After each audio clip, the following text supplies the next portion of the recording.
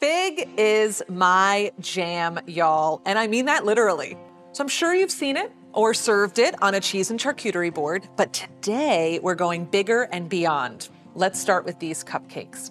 So I paired up a simple five ingredient buttercream frosting with a few tablespoons of fig spread. And now I'm topping it with some caramelized bacon and planning my exit strategy so I don't have to share it with anybody.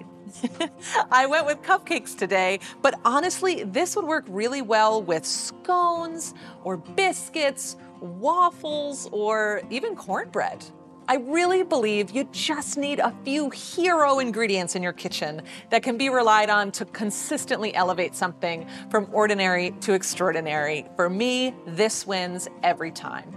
Pair it with sweet, savory, or spicy from fresh fruit pies to glazed chicken thighs. You literally can't go wrong.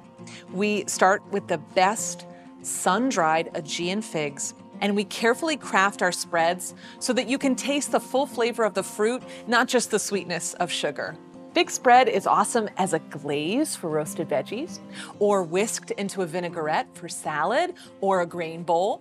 Uh, but today, I decided to treat you all with a fig spread flatbread with roasted apples, chopped hazelnuts, and brie. I'm telling you, pure heaven. For these recipes and more, visit divinamarket.com